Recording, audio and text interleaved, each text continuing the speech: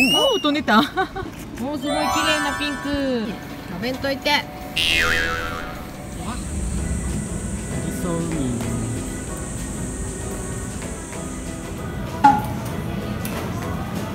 おお大きい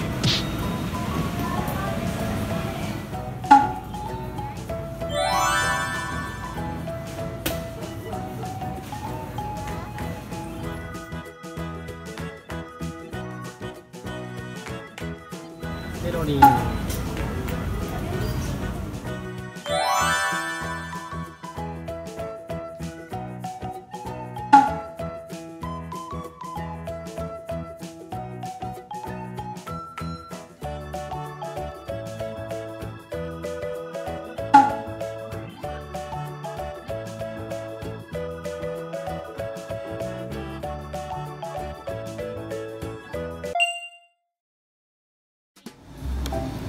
ではサービスエリアで買ったんですけど富山の名産マスの寿司開けて食べてみたいと思います。はい、はい、開けるとこういう感じ。なんか木でね。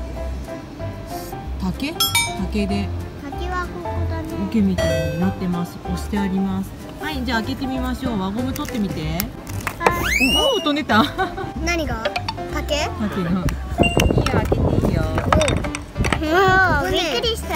おー笹だね。笹の葉サラサラの日まで。おわーでも開けていい？やだ。よだってゲームぐちゃぐちゃなよおーすごい綺麗なピンク。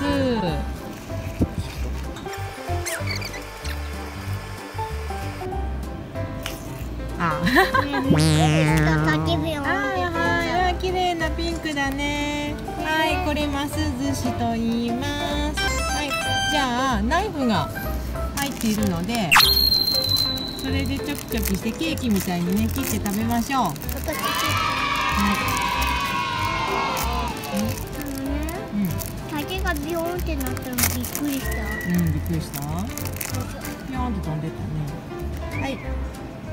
ます寿司入刀。まっすぐだよ、まっすぐ。みーちゃん。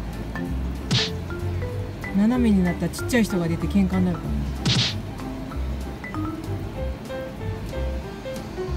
子供にはちょっと難しいかな。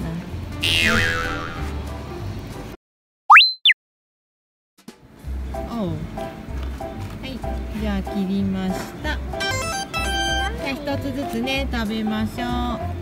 いただきます。まあ笹は切ってないから。ご飯うん、いやあそうそういいよえいちゃん食べてみ。笹食べたらダメなの。暴落者やな。ど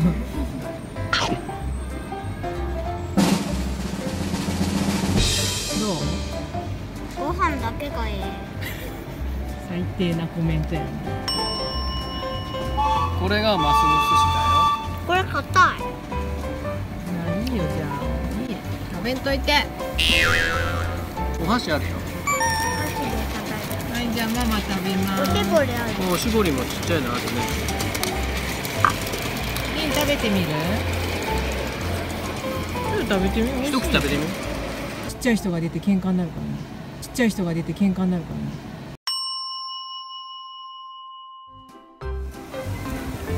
はい、完食しました。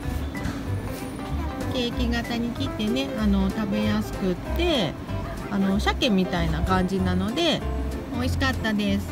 食べやすかったです。皆さん富山に来た時は一度食べてみてもいいかなと思います。